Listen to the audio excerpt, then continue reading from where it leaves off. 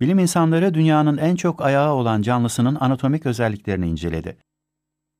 Araştırmacılar bu türün çok sayıda ayağa sahip olmasının yanında bugünkü hemcinslerinden ziyade milyonlarca yıl önce yaşayan akrabalarına daha çok benzediğini söylüyor.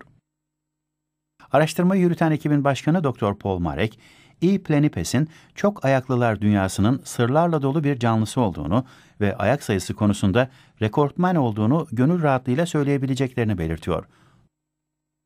Dr. Marek, bu canlıları 2005 yılında kardeşiyle birlikte Kaliforniya'daki dağlık alanda buldu. Bu familyaya ait canlıların büyük bölümünün ayak sayısı 62 olarak biliniyor.